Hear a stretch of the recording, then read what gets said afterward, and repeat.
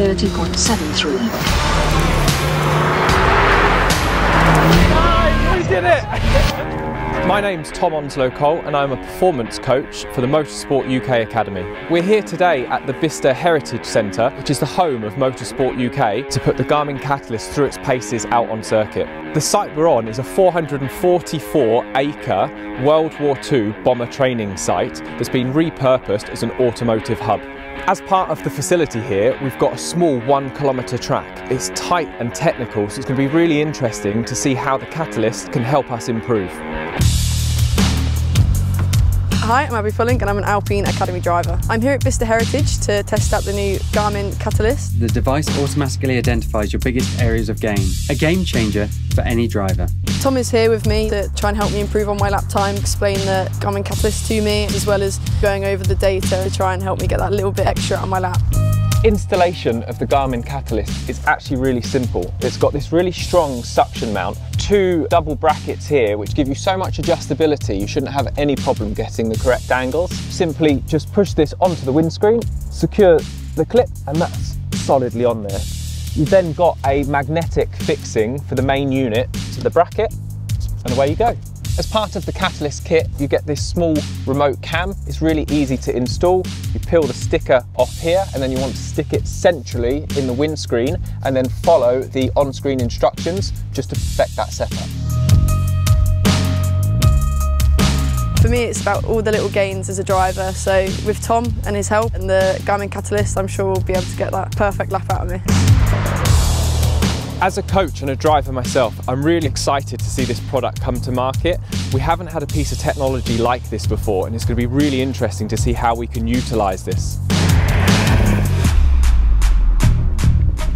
I've got the Bicester circuit loaded into the Garmin Catalyst. I'm particularly looking forward to the live coaching feedback and we're going to see what information we can generate out of the system. Starting first lap. We need three laps just to build up a bit of a baseline. 31.5. Okay, so that's one lap down. The system's now starting to record our data. 30.73. Excellent session there. We've now got some good laps in the Catalyst system, so let's have a little look at the opportunities it's given us. So if I click on the opportunities, okay, this is an interesting one. So we're looking at turn one, and it's saying on our fastest lap, we were three meters later and 3% harder. God, that's quite fine, isn't it? 3%. In the data here, you can see that you broke later, harder, same minimum speed, got it stopped, then we got out. This is quite a small change, to be honest. We'll take that information and just try to put that in there regularly. Looking at opportunity two, we'll concentrate on braking again. So this is down at the bottom corner. We're talking about one meter later and 4% harder. So again, very fine reading there. I think what's interesting on the graph there actually is the slower minimum corner speed has given us that nice exit. I think what we should do, take those two on board. So this opportunity here, which was braking three meters later, let's try and nail that down as a nice consistency. And then we'll take the one meter later down at the far far corner and see if we can bring that lap time down a little further. Let's do it. Starting first lap. Turn one here, it was three metres that we're looking for. Next left, brake earlier. It's doing my job for me Nice there. work.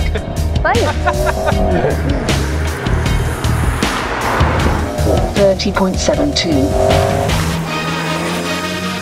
So in this corner here, we were only looking for that consistent braking, one metre later. Nice work. Thirty point five eight. Another lap record for us.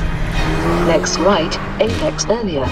Little earlier apex, bit of curb, nice.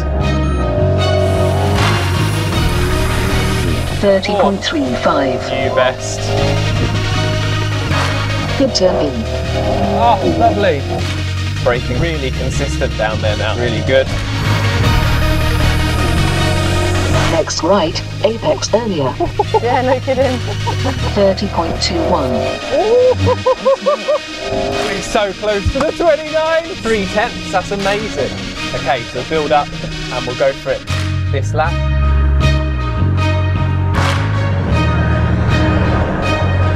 Good apex.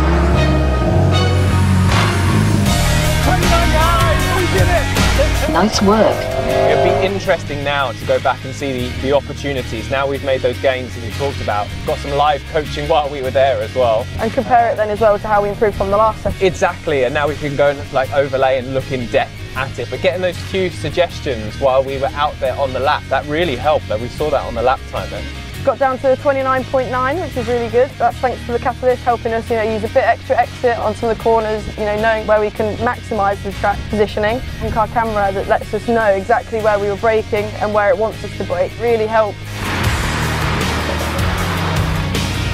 So today's been really fun. I've been reviewing the data, you know, we could see where I needed to improve. Something I really loved was the Delta in-car. On top of that, the coaching, the track positioning and post-session analysis was so accurate and this technology can really help people improve themselves on track.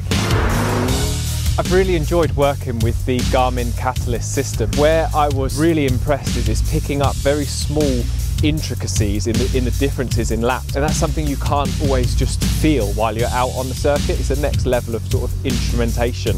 It helped us get to our quickest lap faster than we would have if we'd had to get out of the car each time, sit down and review. Can see its applications quite wide across motorsport. As a track day enthusiast, you can just put this in your car and you'll instantly be guided towards repeating your best laps and making improvements.